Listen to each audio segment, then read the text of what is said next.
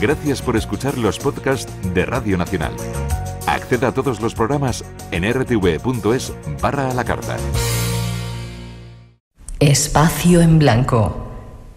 En Radio Nacional de España, con Miguel Blanco.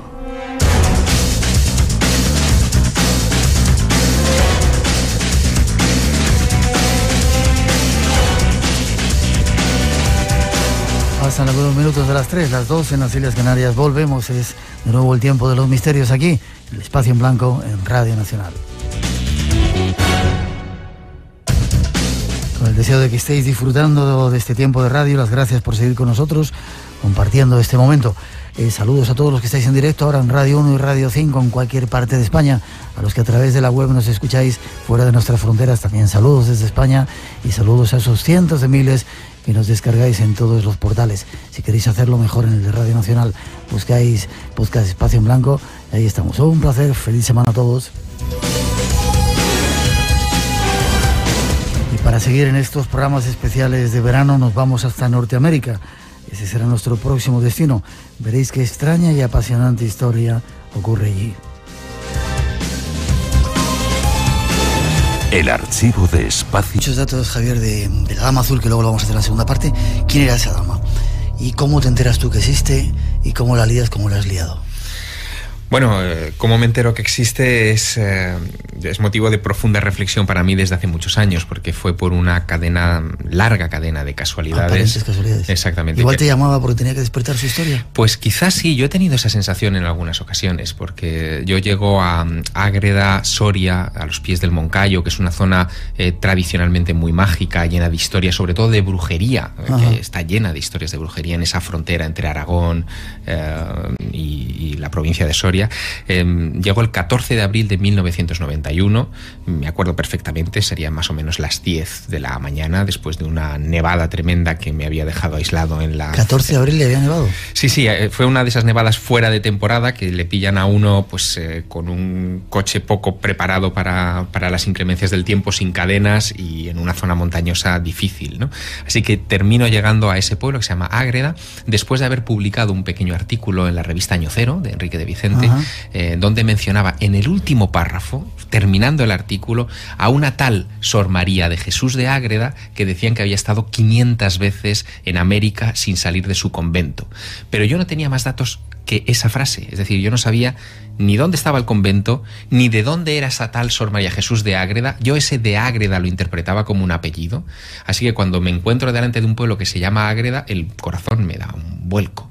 Entiendo que esa mujer debía ser de allí, la busco, entro en el pueblo para preguntar por ella, nadie me responde porque con unos 9 grados bajo cero que debía hacer aquella mañana no había nadie en la calle, decido continuar camino antes de que la tormenta de nieve se me eche otra vez encima, pero me equivoco dentro del pueblo, salgo por una carretera errónea que va a dar a un convento, un convento con una estatua de una monja de piedra en la puerta que dice a la venerable Madre Ágreda con santo orgullo sus paisanos. Era ella.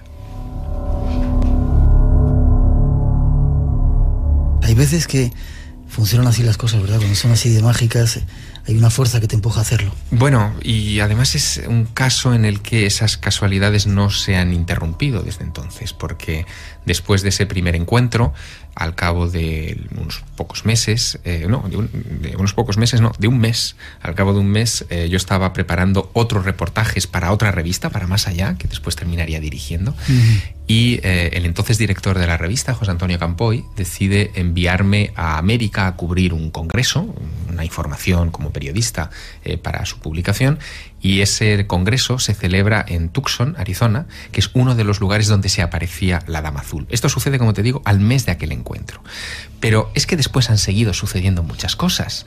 La primera vez que eh, sale eh, mi libro, La Dama Azul, la novela, el día que se presenta en Madrid, en 1988, en septiembre del 88, eh, del 98, perdón, me nombran director de Más Allá. O sea, ¿Ese mismo día? Ese mismo día. Sí. Eh, además era un momento para mí muy importante donde yo estaba decidiendo si continuaba mi trayectoria literaria o mm, permanecía, digamos, en, el tema periodístico. Bueno, pues ese día pasó aquello.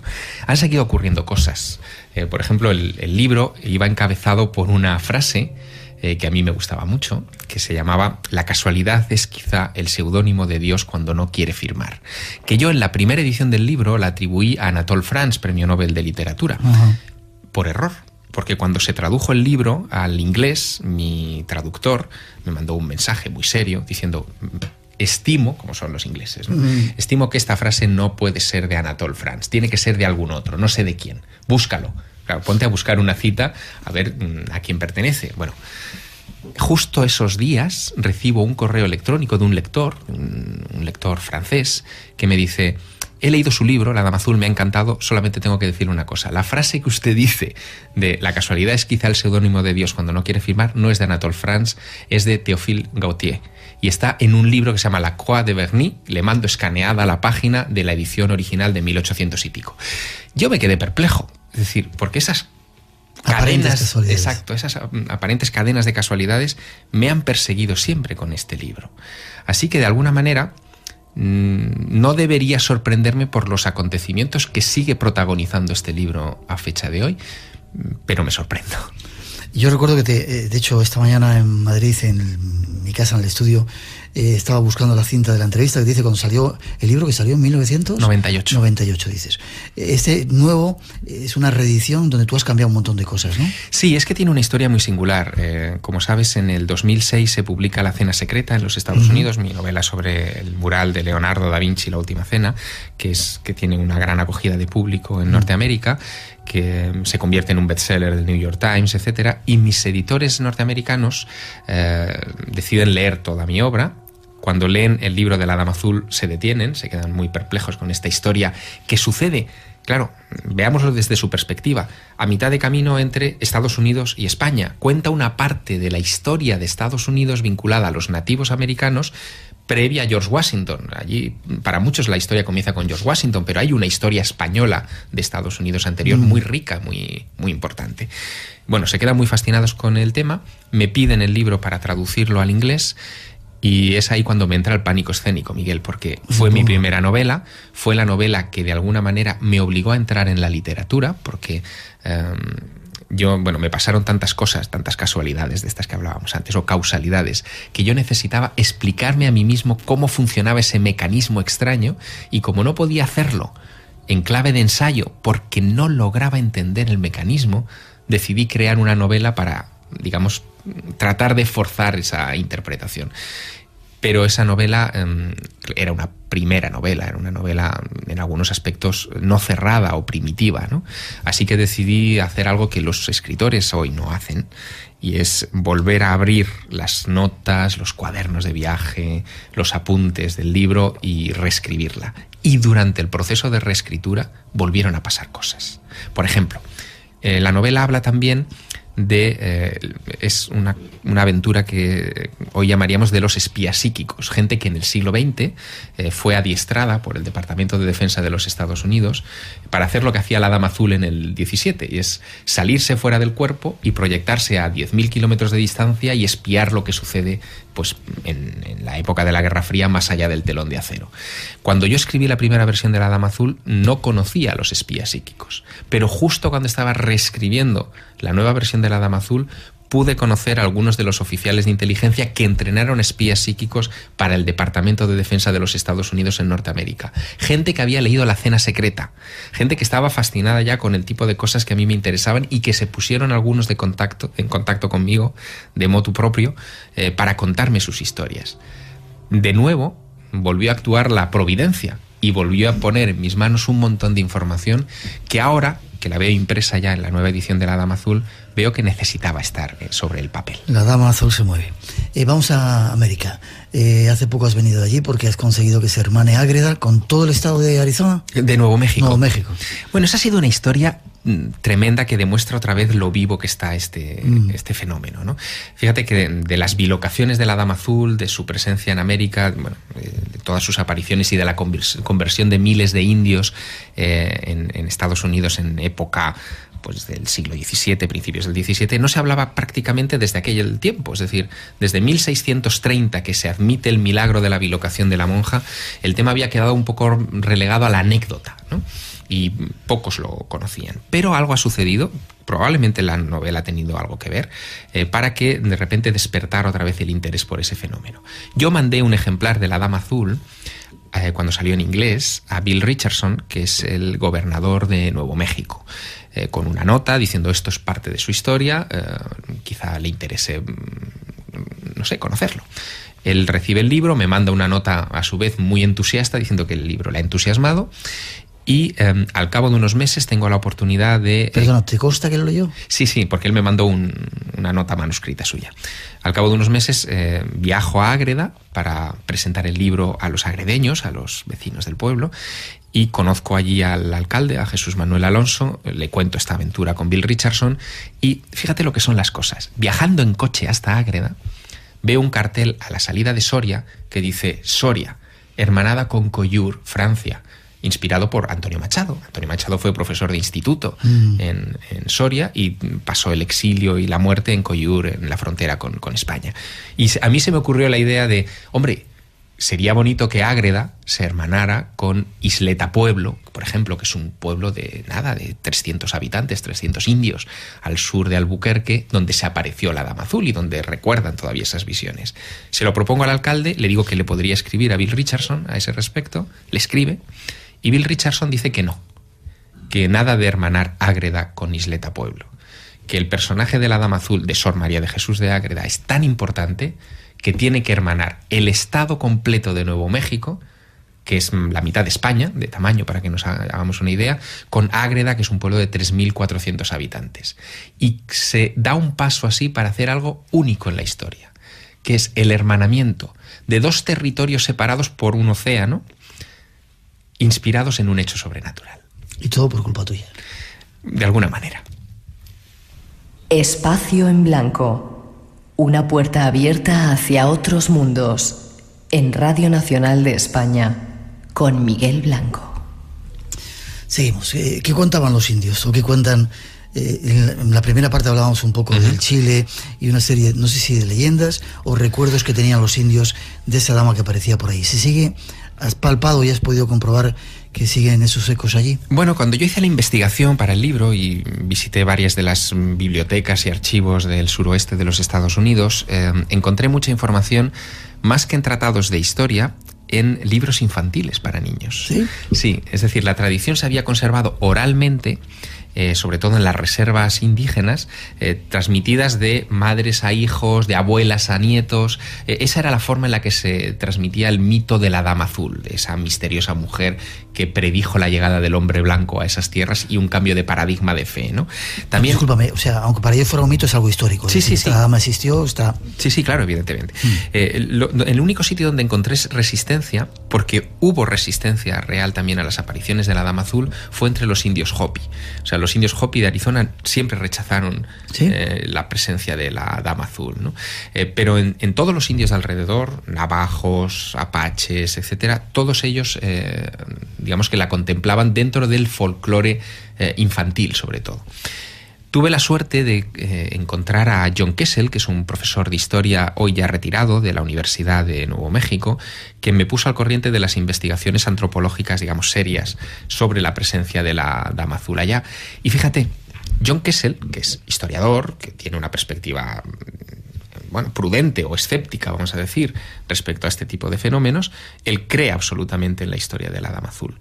En cambio, en Isleta Pueblo, este pueblo que mencionaba antes, que fue el eje de las primeras apariciones de, la Dama Azul en Nuevo México, el actual eh, cura de Isleta Pueblo, que es un franciscano, se llama Hilaire Baliquet, eh, sin embargo es escéptico.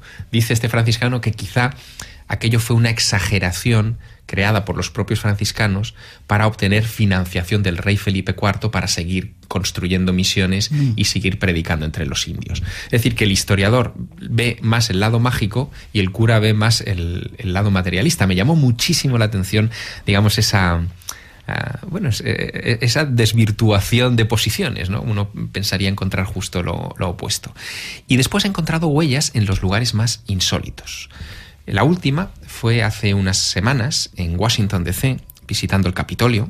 Hay un, dentro del Capitolio de Washington hay una gran habitación que es la habitación de las estatuas, donde cada mm, estado norteamericano eh, tiene dos estatuas de, dos prohombres, digamos, de, ese estado. En California, una de las estatuas pertenece a un franciscano que se llama Fray Junípero Serra, que fue el, hombre que predicó en toda la Baja California y fundó misiones. En esa estatua, Fray Junípero Serra lleva un libro en la mano.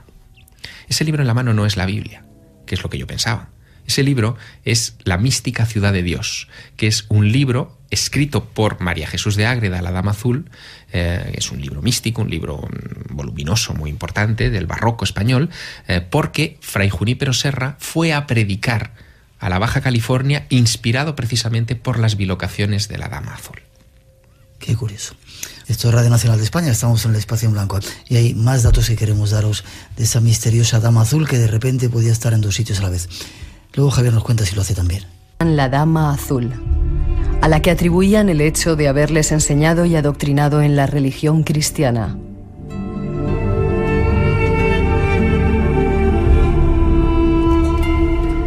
Tras una investigación se concluye que esta dama no fue sino una monja de clausura soriana, Sor María Jesús de Ágreda, que sin abandonar jamás su celda fue capaz de manifestarse a los indios a más de 10.000 kilómetros de distancia, preparándoles durante meses para un encuentro con los franciscanos.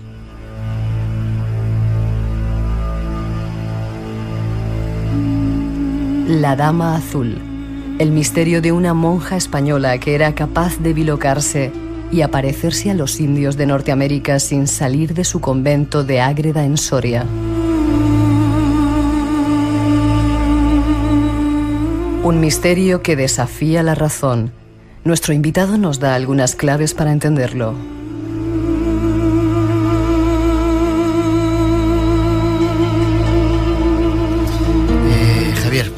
Ahora sí quiero que me cuentes un poco la historia de este personaje. ¿Quién era?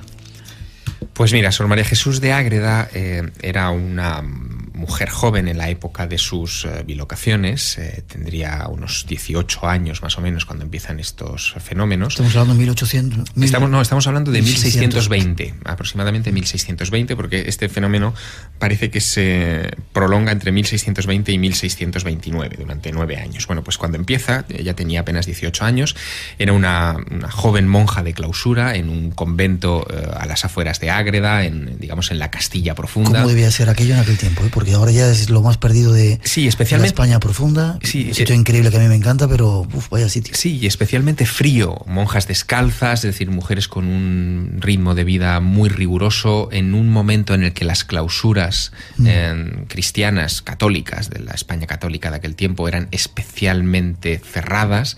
Para que te hagas una idea, eh, casi nadie podía ver a las monjas. Eh, las, rejas que hoy se conservan todavía en el convento eran tan densas, tan los barrones los barrotes tan cerca los unos de los otros y encima mm, soldados con pinchos hacia afuera para que nadie pudiera acercarse a ellas, que aquellas mujeres vivían realmente emparedadas en vida en, ese tiempo. ¿no? Bueno, pues en ese ambiente, en esa comunidad, esta monja jovencita eh, empezó a protagonizar lo que mm, en aquel tiempo empezaron a llamarlo exterioridades. Eh, ella tenía, eh, por ejemplo, accesos de levitación y durante las misas parece que la gente acudía a la iglesia a verla levitar. Se hizo famosa en toda la comarca como que bueno, esta mujer protagonizaba hechos sobrenaturales y la gente empezó a acercarse con curiosidad a husmear en torno a, a, Sor María de Jesús. Perdona que te pregunte, ¿eso es historia o es leyenda? Eso es historia. Historia, o sea, es cierto. Sí, sí, además hay constancia en documentos, incluso existe una pequeña autobiografía de la propia Madre Ágreda donde da cuenta de estas cosas. En realidad, Sor María de Jesús ya venía de tradición el tener este tipo de accesos, porque su madre, Catalina de Arana, ya tenía mm, fenómenos de este estilo. Catalina de Arana fue la que fundó ese convento, de hecho. En un momento determinado decide, junto con su marido, eh, cada uno fundar un convento. En el convento de los varones se van los hijos de la familia, en el de las chicas se van las muchachas, y en ese ambiente es en el que crece esta mujer. ¿Qué ocurre? Que en, durante las obras de creación del nuevo convento, eh, ya parece que eh, la monja de Ágreda, la, jovencita novicia, comienza a ser vista en varios sitios. Y parece que guía a los obreros, en fin, tiene como varias eh, aventuras de este estilo. Y la fama de que esta mujer es capaz de estar en dos sitios a la vez, o es vista en dos sitios a la vez físicamente, eh, termina llegando incluso a Madrid. Es justo cuando llega a Madrid, y tarda unos años, evidentemente, las comunicaciones no son como ahora, es justo cuando llega a Madrid hacia 1628 o 29, cuando llegan las primeras noticias de los misioneros franciscanos que están predicando en Nuevo México y que eh, están encontrando unas facilidades absolutamente únicas en la historia de la conquista española de América. Los indios buscan ser bautizados, se reúnen en cuadrillas que abandonan sus asentamientos, recorren decenas, si no cientos de kilómetros hasta los lugares donde saben que están los frailes y les piden ser convertidos al cristianismo.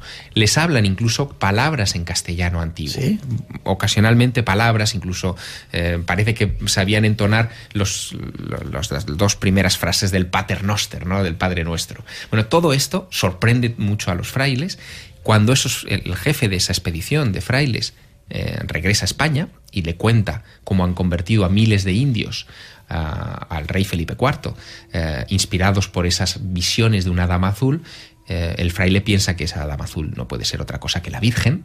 Sin embargo, en la corte ya se hablaba de esa mujer, de Ágreda, que podía estar en dos sitios a la vez y que casualmente su descripción anatómica coincidía mucho con la de la dama azul, una mujer blanca, de rasgos muy pálidos, rostro alargado y vestida con un hábito azul, igual que el que se veía en América. En verano, la vegetación de nuestros montes se seca y el riesgo de incendios se multiplica. No juegues con fuego. Acabar con los incendios forestales está en tu mano. Radio Nacional de España por la conservación de nuestros espacios naturales.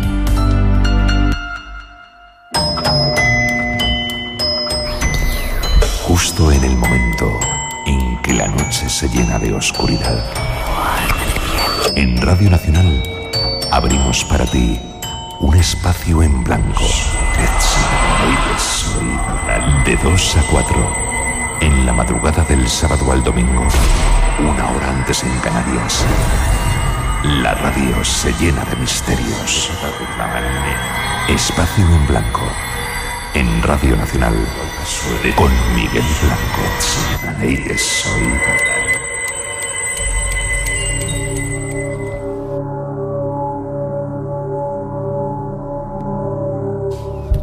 ¿Cuántas veces se sabe cuántas veces se pudo estar allí en durante cuánto tiempo estuvo llegando a Norteamérica? Bueno, lo cierto es que eh, este asunto fascinó inmediatamente a la Inquisición y la Inquisición en 1635... No se bromeaba con ella. Claro, envía inmediatamente una, una, comisión a interrogarla. Piensa que estamos hablando del Moncayo, que antes decíamos que era una zona muy fértil en brujería, así que es lógico que cualquier cosa que se saliera de lo común, y especialmente si surgía dentro de un convento, eh, fuera inmediatamente objeto de su atención. Yo he accedido a los interrogatorios del Santo Oficio, eh, del Tribunal de Logroño, entre eh, ese tribunal y la monja de Ágreda. Y toda la preocupación del tribunal de Logroño era precisamente la tuya, Miguel. Saber cuántas veces había estado y saber cómo había hecho para estar allí. Y las respuestas de la monja son extraordinariamente hábiles. Ella elude la condena, elude incluso el, arranque de un proceso, diciendo que aunque ella tenía información de todo lo que estaba sucediendo en América, y de hecho parece que incluso reconoció al padre Benavides cuando fue, eh, que, fue el, misionero que encabezó aquella expedición, cuando fue a interrogarla, eh, ella dice que debió ser un ángel que tomaba su figura y él eh, que se manifestaba en, América y después mm, volvía y se lo contaba a ella en sueños o la iluminaba interiormente con, mm. la ciencia infusa. De esa manera, con ese artificio, tratando de eludir responsabilidades y tratando de evitar el ego, de decir, no, no, yo no he sido la que he hecho esto, el, el Tribunal de la Inquisición se vio incapaz de condenarla. Hubo un segundo interrogatorio, unos años después, en 1650. Más duro, más estricto, mm, más, eh, digamos, acosándola sobre la fórmula que ella utilizaba para bilocarse. Pero incluso en esa segunda ocasión, Sor María de Jesús logró evitar eh, la condena. Era en ese sentido una mujer extraordinariamente hábil, sin haber estudiado en ninguna universidad, sin haber sido ilustrada, y sin embargo era capaz de sortear pues, todas las argucias de un tribunal, haciendo algo que hoy yo me lamento particularmente, ¿no? Y es que al saber que iba a ser interrogada por el Santo Oficio, todas las notas personales que ella había tomado de sus visiones en Nuevo México, eh, las quemó. Mm. Las quemó porque temía probablemente que el Santo Oficio pudiera tergiversar esa información escrita y utilizarla contra ella. O sea, que ella era consciente de que eh, tenía visiones, de que estaba en otro lugar. Eso es lo extraordinario del caso, porque en, la mayoría de bilocaciones, digamos... Iba a preguntar qué es una bilocación. ¿Se puede definir de alguna manera? ¿Estar en dos lugares al mismo tiempo? Exacto, estar en ¿Pero eres consciente de los dos sitios donde estás? O? No necesariamente. De hecho, hablaríamos aquí de dos clases de bilocación.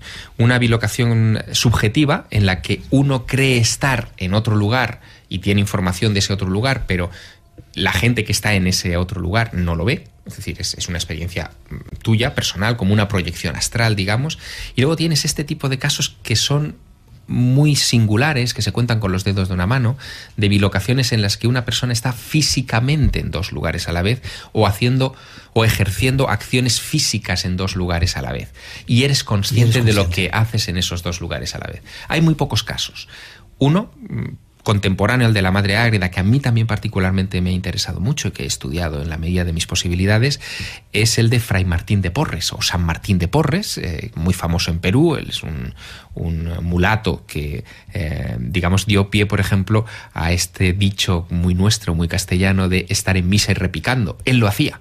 Mm, no es que estar en misa y repicando es que uno esté haciendo dos cosas a la vez, que es como nosotros hoy lo entendemos. No. En aquella época estar en misa y repicando era exactamente estar en misa y repicando. Tocar las campanas a la vez que uno está delante de la... ¿Tocar las campanas donde arriba en el campanario? Sí, sí, arriba en el campanario. Es decir, que está ejerciendo dos acciones físicas. En el caso de la monja de Ágreda, ella ejerció también acciones físicas que a mí me han obsesionado durante años. Eh, dice ella en, su autobiografía, la que ella escribe antes de morir, donde hace acopio de, algunos de esos recuerdos de su vida, que em, ella llegó a repartir rosarios y objetos litúrgicos entre los indios. Yo he buscado esos objetos misión por misión parroquia por parroquia, especialmente a lo largo del Río Grande en Nuevo México, tratando de encontrar, y sigue siendo un poco mi santo grial particular, tratando de encontrar un cáliz con una marca de joyero, todos los cálices españoles tienen marcas de joyero, que perteneciera al área de Castilla o al menos al área de Soria, Tarazona, en fin, todo el área de influencia de Ágreda. Y eh, pese a haber hecho calcos de decenas de esas marcas de joyero, no he logrado todavía aislar una eh, que diga, bueno, esta viene de allí y puede ser un regalo físico de la monja de Ágreda. Pero bueno, Miguel, en este caso la búsqueda sigue. El archivo de espacio en blanco. ¿Te, imagina que, ¿Te imaginas que lo encuentres? Podría suceder, mira, hace poco eh, un, eh, historiador y un eh, informador, un comunicador del área de Tarazona me escribía, se llama Javier Bona, para hacerme partícipe de una historia muy singular. Me dice, oye, ¿te has fijado en las casullas, en los vestidos talares de sacerdote que están expuestos en el pequeño museo del convento de Ágreda?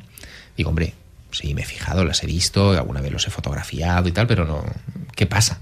Dice, mira, es que los dibujos geométricos que aparecen en las casullas, que fueron bordados por la propia monja de Ágreda, tienes que compararlos con los diseños geométricos de las mantas que todavía hoy se tejen en, eh, por ejemplo, entre la, etnia de los navajos en los Estados Unidos. Lo he hecho. He enviado a varios expertos eh, textiles en Estados Unidos imágenes de esas casullas y para que las comparen con las mantas eh, que hoy todavía tejen los indios navajo y los primer, las primeras impresiones de esos expertos son positivísimas.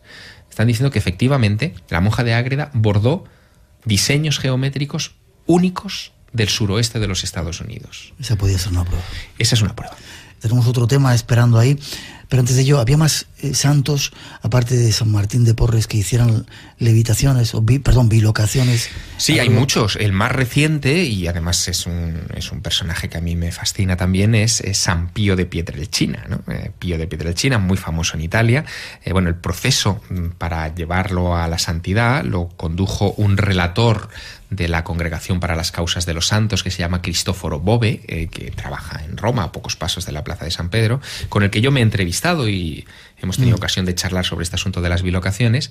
Y él eh, particularmente estaba muy fascinado con algo que hizo el padre Pío de Pietrelcina, eh, pues a principios de los años 60, que es un caso de bilocación extraordinario. Este hombre, Pío de Piedrelchina, famoso durante toda su vida por sus fenómenos místicos, sus estigmas, en fin, fue un personaje muy importante, recibió la visita de un sacerdote uruguayo eh, que mm, bueno, pues, eh, se hizo muy amigo de él y este sacerdote, uruguayo le pidió un favor personal, uno de esos pactos vitales que a veces hacemos los, los seres humanos. ¿no? Le pidió que si él moría antes, necesitaría que el Padre Pío estuviera a los pies de la cama acompañándole en el tránsito de su muerte. Bueno, aquel sacerdote llegó a ser arzobispo de Montevideo y el día de la muerte eh, él estaba en su, en, su habitación, en, el palacio arzobispal, rodeado de sus asistentes y del médico. Eh, pues antes de morir, mm, alguien entra en la habitación. Es un capuchino, jorobado, con barba, con pinta de loco despistado maravilloso, que pide que les dejen un momento a solas y ese capuchino pues ora junto al arzobispo y cuando sale eh, desaparece y es identificado al poco tiempo con Pío de Pietrelcina que en ese momento estaba a unos 14.000 kilómetros de allí eh, orando como siempre en su parroquia de Nápoles en Pietrelcina.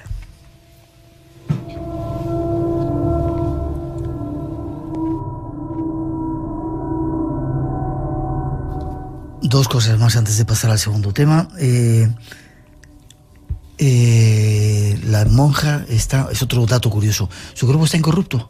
Su cuerpo está incorrupto. María Ágreda, María Ágreda, Jesús. Eh, Sor María de Jesús de Ágreda. Jesús de Ágreda, siempre digo el rey.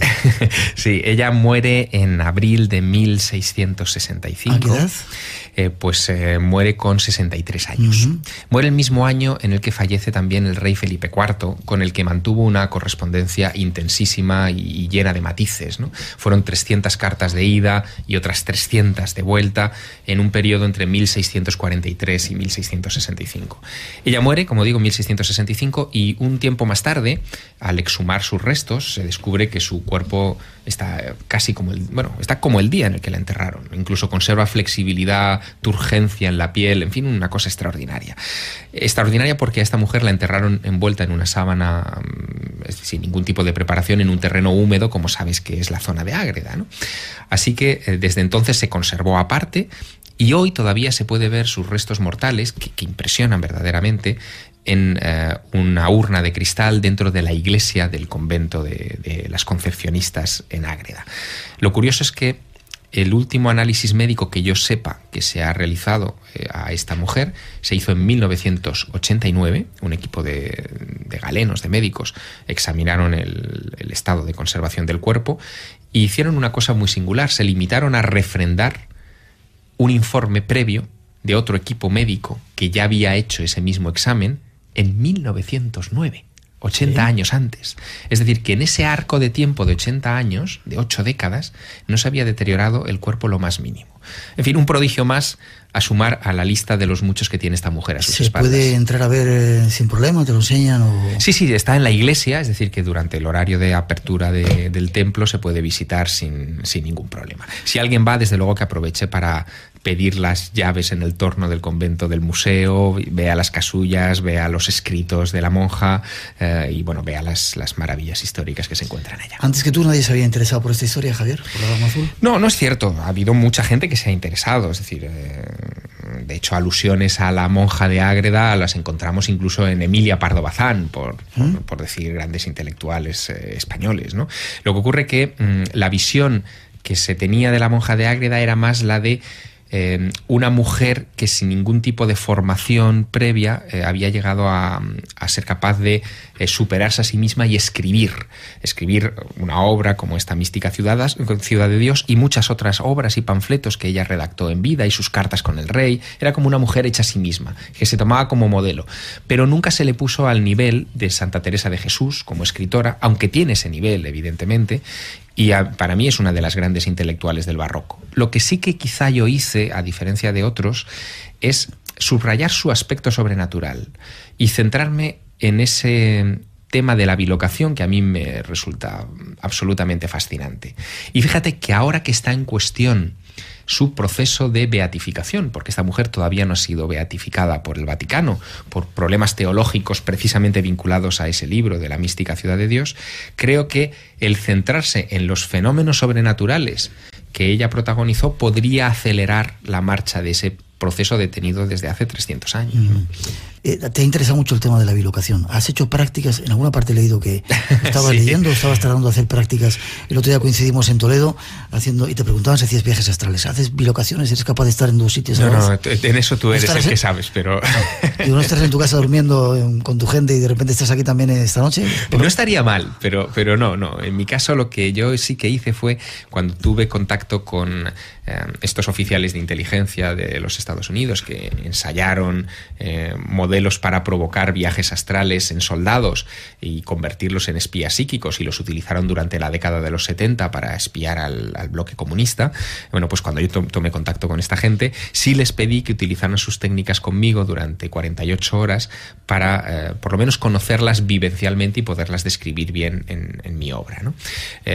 me sometí a varias de esas pruebas con unos sonidos especiales eh, que, colocan en los oídos y que crean un estado de conciencia particular y logré algunos resultados que a mí me sorprendieron. Yo siempre he pensado que soy bastante torpe, em, bastante pétreo en estas cosas eh, psíquicas y sin embargo despertó algo en mí. Yo fui capaz de ver, eh, según las coordenadas geográficas que me dieron, pues una estructura, un edificio en Düsseldorf, Alemania, mientras yo estaba tumbado en Virginia, en Charlottesville, Virginia, a unas cuatro horas en coche de Washington DC. Eh, ¿Lo veías claramente? ¿Lo viste? Lo vi con bastante claridad, no con la claridad con la que vemos las cosas con los ojos o con las que vemos una foto en, en un álbum o encendemos la pantalla de televisión. Eh, es una claridad distinta, es una claridad sensorial, es decir, tú tienes la certeza de que las formas geométricas se corresponden, de que eso es un edificio, de que eso está en una latitud determinada, pero es una información que tú sientes, no que tú ves. Es la, diferencia. Pero la información es. Eso es lo importante. ¿Y has hecho algún otro tipo de práctica desde entonces? Pues la verdad es que me asusté, Miguel, porque es como abrir una puerta eh, donde uno entra en un territorio que no controla. ¿no? Eh, estamos hablando del territorio de lo, de lo psíquico. Pero a la vez que me asustó, también me fascinó, porque al final la gran lección de la Dama Azul y de sus bilocaciones y hablar de los espías psíquicos, de los viajes astrales y meterse en todo este eh, berenjenar en el que yo me adentré para escribir mi novela, es que todo esto tiende a mm, demostrar que somos mucho más que cuerpo físico, que hay algo dentro de nosotros que nos trasciende y que es capaz de hacer cosas ahí fuera sin necesidad de que nuestras manos torpes y materiales tengan que estar ahí. Y eso da mucha esperanza. ¿Te quedas diez minutitos más? Claro, cómo no. Tenemos que hablar de Bill Richardson, que, como decía, eh, gobernador de, esa zona, donde está Roswell, donde ha habido un montón de, de, cosas curiosas y que tiene que ver con ovnis, un tema que está de actualidad por la boca. En 1984, tres policías vieron un objeto no identificado en el cielo de Londres. Otro documento revela las experiencias de un grupo de clientes y empleados de un pub en la localidad de Tunbridge Wells, en el sureste de Inglaterra, dijeron haber visto un objeto con luces verdes y rojas que se dirigía al aeropuerto londinense de Gatwick.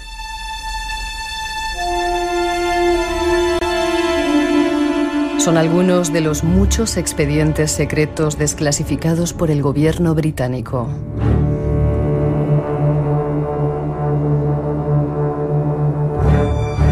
¿Estamos acaso ante una nueva era de los ovnis? Hago, Javier. Eh, a ti que te interesa, como a nosotros, el tema de los ovnis, eh, hablando con el,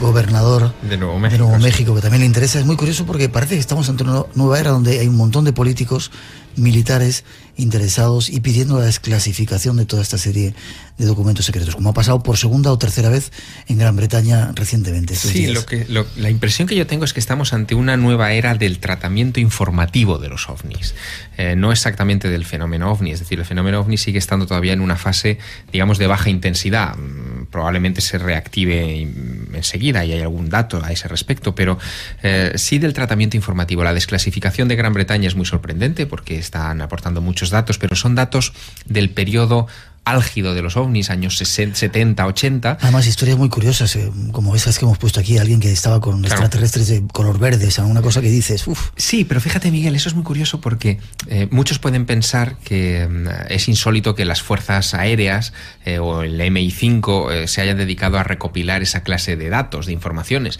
Nosotros sabíamos que eso se estaba produciendo, que esos interrogatorios estaban teniendo lugar y nosotros lo hemos denunciado en el espacio en blanco hace ya años y sin embargo nadie mm, parecía tomarnos en serio. ¿Cómo se iba a encargar un agente del MI5 o un espía a recopilar esta clase de información? Pues sí, se han dedicado durante mucho tiempo y la prueba son estos expedientes que ahora están a disposición del público.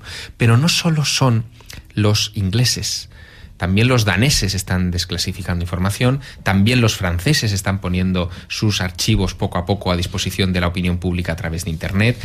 Los, peruanos también, ¿no? Los peruanos también han iniciado un, proceso y todo eso se va a analizar eh, en, Estados Unidos, en Washington. Eh, se está hablando cada vez más de que se van a abrir los archivos norteamericanos relacionados con el fenómeno ovni y eso sí que puede ser importante. Yo comenté este asunto en eh, la ceremonia de hermanamiento entre Ágreda y Nuevo México, inspirada por la Dama Azul, con el gobernador de Nuevo México, Bill Richardson. ¿Por qué con él? Bueno, muy, muy sencillo. En Nuevo México está Roswell. Tú sabes que el caso Roswell inicia la moderna era del secreto oficial sobre los ovnis, ese famoso accidente de julio del 47 de un supuesto platillo volante. Paréntesis, ¿tú qué crees de ello? Eh, Yo creo que se estrelló algo evidentemente no humano. Sigo defendiéndolo a, fecha de hoy. Vale. Eh, y le pregunté a Bill Richardson a ese respecto. Él sonrió, me dio una palmada en la espalda, me dice, hombre, alguien que conoce el tema Roswell también, ¿no? Y, claro, le, comenté a ese respecto, bueno, que eh, yo sabía que Richardson había hecho peticiones al gobierno Bush para que desclasificara eh, todo el asunto del caso Roswell, pero ¿qué pensaba hacer ahora que él era parte del gobierno, él es demócrata, y un hombre de confianza de Barack Obama. Se quedó como muy perplejo, pensativo, diciendo, claro, algo tendré que hacer.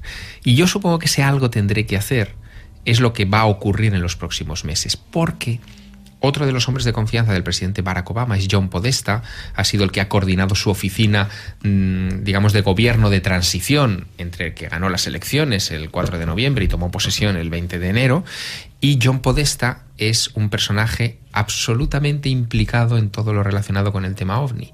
Un fascinado por, públicamente sobre este asunto, ha hecho declaraciones muchísimas en Estados Unidos sobre este particular, defendiendo que hay que desclasificar los archivos nacionales vinculados a los no identificados. Y ahora que él forma parte del gabinete de Barack Obama, hay muchas razones para creer que esto puede ocurrir. Incluso hay una iniciativa que se llama Facts on Washington, eh, por la que se trata de recoger al menos un millón de faxes, no de emails, de faxes que cuesta un poco más, ¿no? Un millón de faxes a un fax determinado de la Casa Blanca de ciudadanos norteamericanos exigiendo esa desclasificación. Un millón. Y ya, ya estamos muy cerca de esa cifra de ciudadanos norteamericanos que están enviando esos faxes. Así que sensibilidad hay, oportunidad política existe y actores políticos que puedan poner en marcha esa presión eh, sobre el conglomerado militar, los tenemos con nosotros. Yo creo que escuche junto a todos nuestros oyentes algo que últimamente estamos poniendo en el programa. Lo llamamos ultimátum. Escucha. Necesito saber de qué va esto. Este planeta se muere. La raza humana lo está matando. Y has venido a ayudarnos, ¿verdad? No, eso no. Dijiste que venías a salvarnos. Dije que venía a salvar la Tierra. Vienes a salvar la Tierra. De nosotros. A salvar la Tierra. De nosotros. No podemos arriesgar la supervivencia de este planeta por una sola especie. ¿Qué insinúas? Si la Tierra muere, moriréis.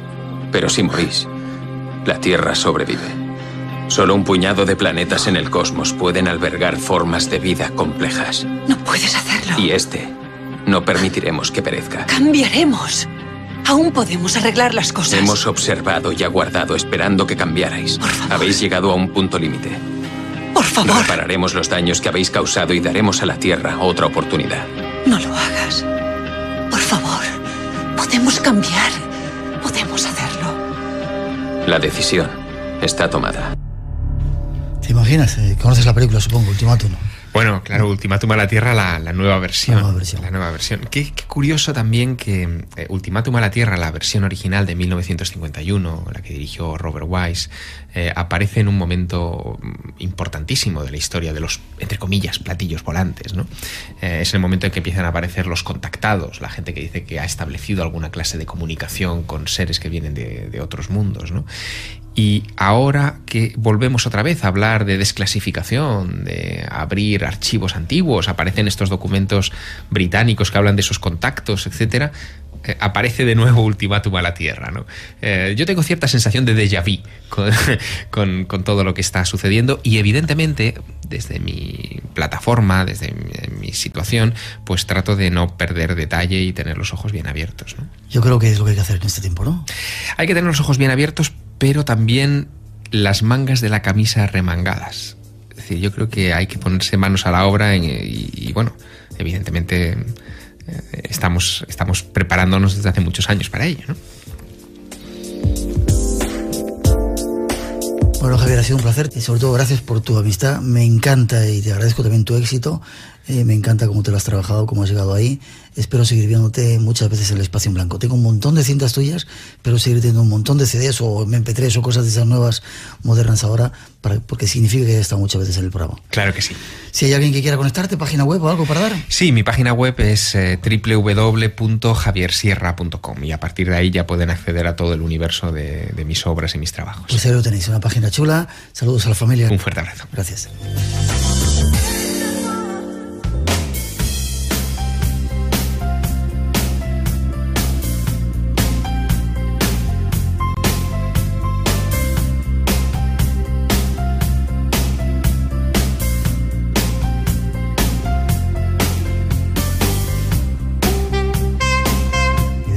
Extraña historia de Sadamo de Azul y desde América regresamos. Es hora de volver a nuestro tiempo y a nuestro país. Es hora también de despedirnos. Las gracias a todos por la compañía y por habernos ayudado a compartir y llenar este espacio en blanco que está a punto de cerrarse.